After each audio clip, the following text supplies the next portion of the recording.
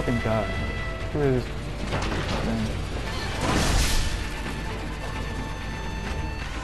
Hit you with axe.